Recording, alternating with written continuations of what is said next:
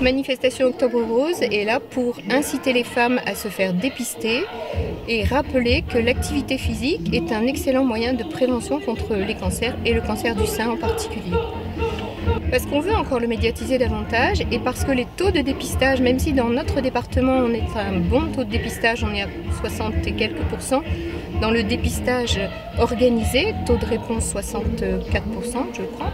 euh, il y a encore beaucoup de femmes qui échappent à ce dépistage. Le dépistage organisé, donc proposé aux femmes par Cap Santé de 50 ans à 74 ans, c'est entièrement gratuit. Et malgré cette incitation, il y a encore euh, pas mal de femmes, bon nombre de femmes, qui ne font pas ce dépistage organisé.